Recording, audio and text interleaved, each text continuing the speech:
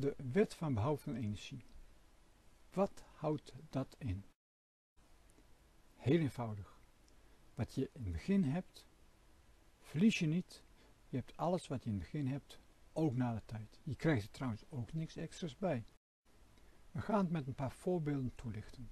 We beginnen hier met een bal, anderhalve meter hoogte, en die wordt losgelaten zodat het naar beneden valt. Ehm, gevraagd wordt welke snelheid hij heeft als hij de grond raakt. Wel, we beginnen met de wet van Wout van energie, dus voor is een A. De energie in het begin, daar in hoogte, wel, hij heeft hoogte, dus er is hoogte-energie, maar hij staat stil, dus er is geen kinetische energie. En als je naar beneden gaat, dan vlak voordat hij de grond raakt, want ja, anders zou je natuurlijk worden afgeremd, uh, vlak voordat je de grond raakt, de hoogte is nul, dus geen hoogte-energie, maar wel snelheid, dus wel kinetische energie. Kortom, in het begin mk g keer h en op het eind een half mv kwadraat. Je ziet dus nu dat de massa links en rechts aanwezig, die kun je wegstrepen. Dus de snelheid hangt niet af van de massa. Dat wist je hoop ik al. Nou, je kunt alles invullen. Dus in dit geval hier links en rechts keer 2. Dan krijg je dus dat de v in kwadraat 2 keer g keer h is. Kwadraatje weg, wortel erbij, invullen. En je hebt heel eenvoudig de snelheid kunnen berekenen. 5,4 meter per seconde. Eenvoudig hè?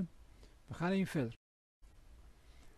Dezelfde bal, maar nu wordt hij dus weggetrapt met 3 meter per seconde. Hij gaat de helling op en omdat hij de helling op gaat, zal hij natuurlijk worden afgeremd. De vraag is, hoe ver kan hij de helling oprollen voordat hij tot stilstand komt en daarna eventueel weer terugrolt? Nou, net als altijd. Ja, even kijken. Wet van bouw van energie, even voor. Ja, dat is daar. Ja, hier heeft hij geen hoogte, maar wel snelheid. En hij rolt die kant op, de helling op en daar blijft hij stilstaan. En daar is dus 1a, geen snelheid, maar wel hoogte.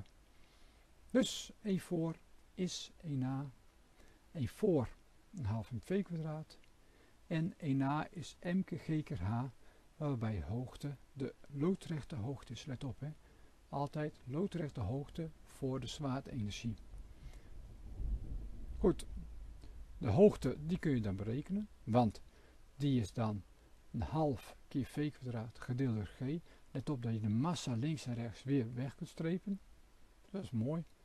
Uh, alles invullen en je krijgt dus dat hij een hoogte krijgt van 0,46 meter.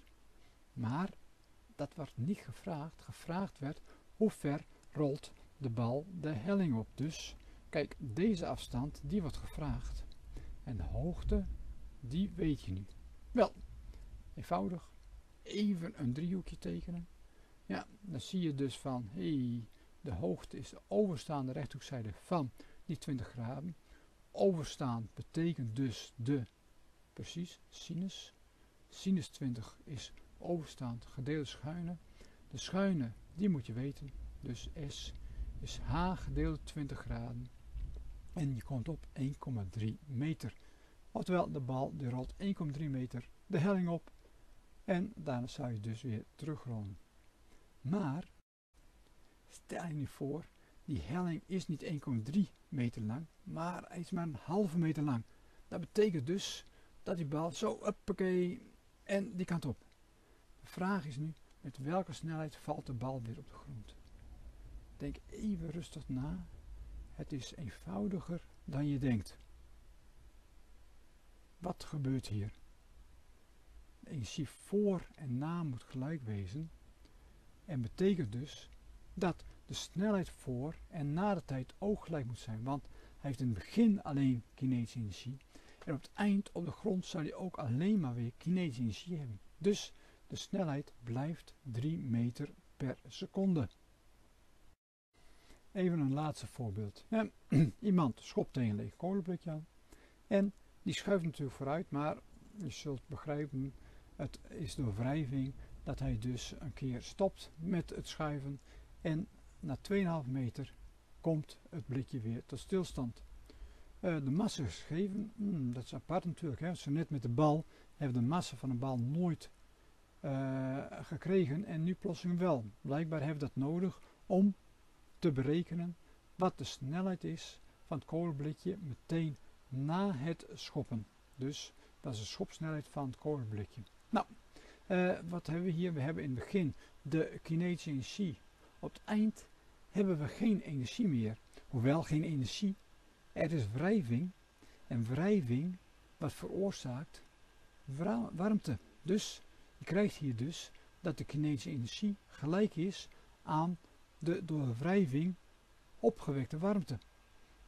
Kinetische energie is een half mv kwadraat. En de arbeid door een wrijving is F keer S, waarbij F de wrijvingskracht is. Wel, invullen en je ziet dus nu hier inderdaad dat je de massa niet weg kunt streven, want de massa komt maar aan één kant voor. Dus je moet hier V berekenen. Ja, nou, een beetje omwerken van een formule, invullen en je krijgt dat de snelheid 10 meter per seconde is. Ook hier op een eenvoudige manier kun je de snelheid berekenen. Zo, dat was het weer. Maar let op, hè, je hebt nu een kleine glimp gezien van de wet van bouw van energie. Maar er is nog wel veel meer. Denk maar eens aan wat deze persoon heeft bedacht, namelijk dat energie ook afhankelijk is van de massa van het voorwerp. Dus er is nog wel veel meer onder de zon, maar voorlopig laten we dat even achterwege. Dit was weer het einde. Tot ziens.